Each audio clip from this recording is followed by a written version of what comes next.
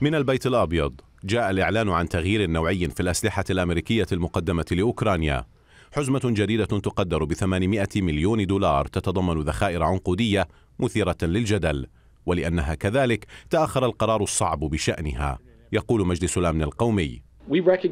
ندرك أن الذخيرة العنقودية تخلق مخاطر بإيذاء المدنيين نتيجة عدم انفجار بعض مكوناتها ولهذا أجلنا قرار إرسالها قدر الإمكان. لكن هناك خطر هائل بإيذاء المدنيين. إذا انتزعت القوات الروسية مواقع القوات الأوكرانية وسيطرت على مزيد من أراضي أوكرانيا وسكانها المدنيين بسبب نقص القدرات المدفعية وهو أمر لا يمكن السماح بحدوثه.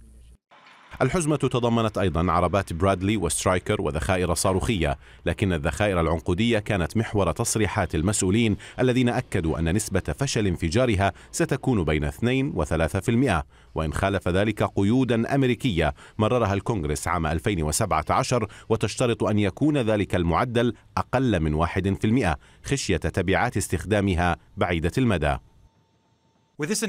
من خلال هذا الإعلان سيكون بمقدورنا تزويد أوكرانيا حالا بمئات الآلاف من الذخائر المدفعية. وهذا القرار يضمن استمرارية دعمنا لأوكرانيا عبر بلوغنا نقطة ننتج فيها شهريا ما يكفي من الذخائر ضمن تحالفنا.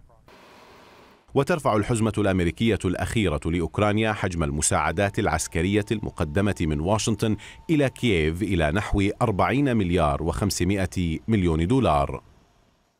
رغم مخالفتها لقيود محلية وتعرضها لانتقادات خارجية تمرر إدارة بايدن حزمة مساعدات جديدة لأوكرانيا تتضمن قنابل عنقودية وتبرر ذلك باستخدام الآخرين لها وبالحاجة إليها في حسم معركة كييف ضد موسكو.